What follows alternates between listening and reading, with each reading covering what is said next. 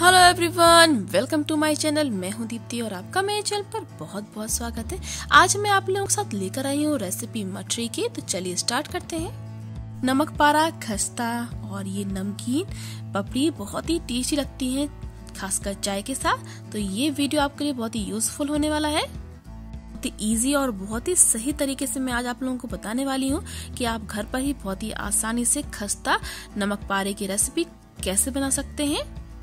सबसे पहले तो अगर अभी तक आपने मेरे चैनल को सब्सक्राइब नहीं किया है तो रेड बटन दबा के सबसे पहले सब्सक्राइब कर लीजिए और बेल आइकन को प्रेस करना बिल्कुल भी ना भूलें for my latest video notification totally free सबसे पहले हम यहाँ पर जो हमारा आटा है, डो है, उसको बनाकर रेडी करेंगे। यहाँ मैंने जो रिफाइंड व्हीट फ्लोर होता है, यानी कि मैदा, उसको ले लिया है 500 ग्राम्स और उसमें वन फोर्थ कप हम यहाँ डाल देंगे रवा, सूजी रवा और सूजी डालने से जो हमारी मठरी है, खस्ता है, बहुत ही खस्ता बनती है, कुरकुरी बनती है, क्रिस्पी बनती है। अब हम डाल देंगे इसमें कलौजी। कलौजी मतलब अनियन सीड्स, प्याज के बीज हैं ये। और इसमें हम डाल देंगे one fourth cup refined oil. आप यहाँ घी का यूज़ भी कर सकते हैं। रिफाइंड ऑयल हमने इसलिए ही डाला है जिससे कि जो हमारे नमक पारे हैं, हमारी जो मछली है, बहुत ही खस्ता बनेंगी, कुरकुरी बनेंगी। अब इसमें हम डाल देंगे हाफ़ स्पून सॉल्ट सॉल्ट अपने टेस्ट के अकॉर्डिंग आप यूज़ कर सकते हैं। अब पहले हम ऑयल और सॉल्ट और इन सभी चीज़ों को पहले हाथों से मिक्स कर देंगे। और फिर हम इसमें जो यूज़ करने वाले हैं वाटर यानी कि पानी, वो बहुत ही ठंडा पानी यूज़ करेंगे फ्रिज में रखा हुआ पानी। फ्रिज में रखा हुआ पानी ठंडा हम इसमें इसलिए यूज़ कर रहे हैं, इसको गूथने के लिए, इसका डो बनाने के लिए, क्योंकि जब हम इसको बनाकर रेडी करेंगे और फिर इसको हम ऑयल में तलेंगे फ्राई करेंगे तो ये बहुत ही ज़्यादा क्रिस्पी बनेंगी, बहुत ही कुरकुरी बनेंगी और ये बहुत दिनों तक आप इसको जब स्टोर करके रखेंगे तो बहुत दिनों तक ये कुरकुरी ही बनी रहेंगी। और आप इसको चाय के साथ खाइए, बहुत ही लाजवाब स्वाद लगता है इनका, बहुत ही टेस्टी लगते हैं खासकर बच्चों को तो बहुत ज़्यादा पसंद आते हैं। अब इसको हमने अच्छे से मिक्स कर लिया है। अब हम इसको, आप देख सकते हैं इसका एक बन के रेडी हो गया है डो। अब आप देख सकते हैं, इसका एक मुट्ठी बन रही है ऐसी की, यानी कि आपने जो मोयन लगाया है, वो बिल्कुल परफेक्ट मोयन है। अब इसमें धीरे धीरे ठंडा पानी डालकर हम एक सॉफ्ट सेमी सॉफ्ट आटा गूथ कर रेडी कर लेंगे। इसका सेमी सॉफ्ट मतलब ज़्यादा कड़क भी नहीं और ज़्यादा सॉफ्ट भी नहीं। जैसे हम पूरी का बनाते हैं, पूरी का आटा लगाते हैं, वैसे ही हमें इसका डो बनाकर रेडी करना है। और फिर इसको हमें थोड़ा सा ऑयल लगाकर छोड़ देना है 15 से 20 मिनट के लिए, जिससे कि ये अच्छे से फूल जाएगा। फिर हम अपने आगे की प्रोसेस करेंगे। अब हमने इसको बेल लिया है। आप इस थिकनेस में आप बेलें, ना ज़्यादा पतला, ना ज़्यादा मोटा, और फिर हम इसको नाइफ की हेल्प से काट लेंगे।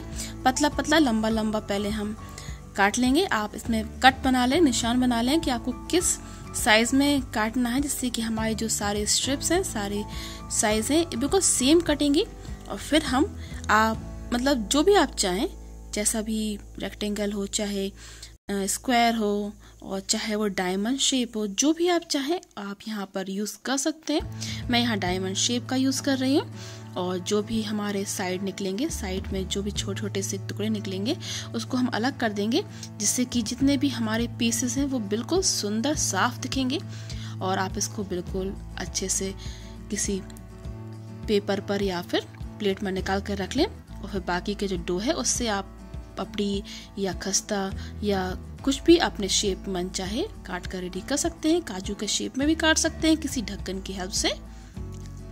यहाँ मैंने सिंपल पपड़ी के शेप में और सिंपल छोटे छोटे समोसे वाले से ट्रायंगल के शेप में भी इसको बनाकर रेडी किया है। आप अपने मन चाहे शेप में इसको काट कर रेडी कर सकते हैं। एक बार ज़रूर बनाकर देखें और अपना एक्सपीरियंस मेरे साथ ज़रूर शेयर करें। सबसे मेन ज़रूरी चीज़ होती है इसका डो बनाना और अगर आपका डो परफेक्ट बना है तो आपके जो खस्ता है बहुत ही क्रिस्पी और कुरकुरे बनेंगे। तो आप लोग भी ज़रूर ट्राई करें। यहाँ दोनों तीनों तरीके से हमने बनाकर रेडी कर लिए हैं। अब हम तेल को गर्म करने रख देंगे गैस पर। अब हम अपना ऑयल गर्म करेंगे बहुत ही अच्छे से। और जैसे ही हमारा ऑयल बहुत अच्छी तरीके से गर्म हो जाएगा, उसको आप बिल्कुल लो फ्लेम पर कर दें, क्योंकि जो हमारी जो मठरी होती हैं और जितनी भी खस्ता चीज़ें हम बनाते हैं मैदे से, वो हमारी खस्ता तभी बनेंगी जब हमारा जो फ्लेम है बिल्कुल लो होगा और हमारा ऑयल बिल्कुल लो टेम्परेचर पे होगा और इसको आप आराम से धीमी धीमी आँच पर फ्राई करें। और इसकी चिंता बिल्कुल भी ना करें कि ये एक दूसरे से लिपट गई है, चिपक गई है। ये जब तेल में फ्राई करेंगे हम, ये अपने आप ही अलग अलग हो जाएगी बहुत ही आसानी से।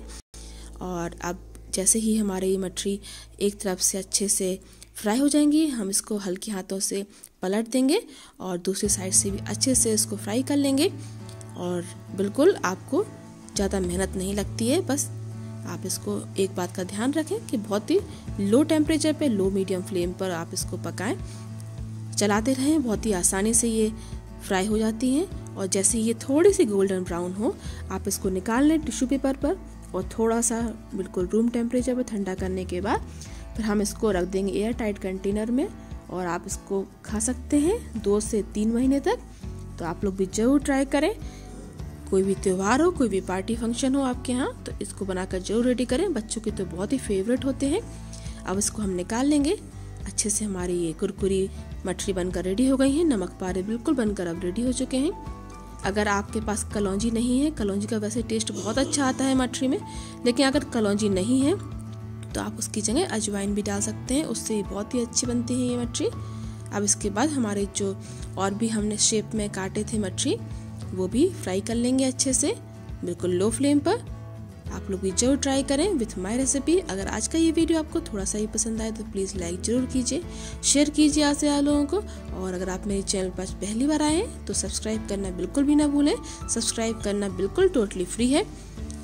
और बेल आइकन को प्रेस ज़रूर करें। बेल आइकन प्रेस करने से मेरी आने वाली सभी वीडियोस की नोटिफिकेशन आपके पास तुरंत आ जाएँगी।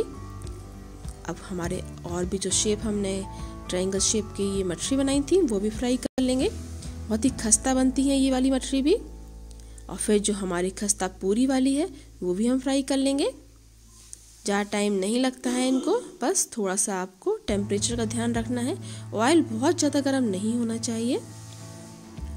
अब आप देख सकते हैं, ये तैरने लगी हैं ऊपर, यानी कि हमारे बहुत अच्छी तरीके से फ्राई हो रहे हैं मछली बस दो मिनट और लगेंगे इसको फ्राई करने में, फिर हम इसको भी निकाल लेंगे टिश्यू पेपर पर।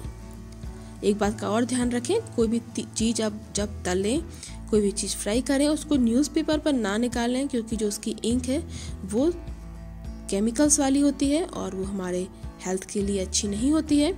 इसीलिए टिश्यू पेपर पर या किचन टॉवल पर आप उसको निकालें। जितना भी एक्सेस ऑयल है, वो उसमें निकल जाएगा। अब हम अपनी मछली को भी निकाल लेंगे और जो हमारी पूरी हैं, उनको भी हम ऐसे ही फ्राई कर लेंगे।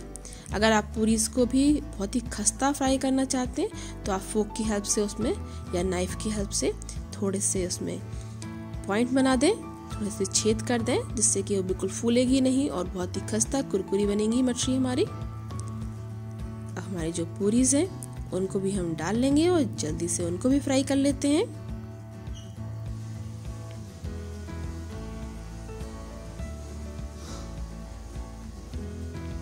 अब हमारी जो पूरियाँ हैं, उनको भी हमने डाल दिया है। और मुझे थोड़ी सी ये सॉफ्ट पसंद है, इसीलिए मैंने इसमें नाइफ से या फुक से छेद नहीं किया है। आप इसमें नाइफ से छेद करेंगे तो और ज़्यादा क्रिस्पी बनेंगी तो आप लोग भी ज़रूर ट्राई करें विथ माई मेथड।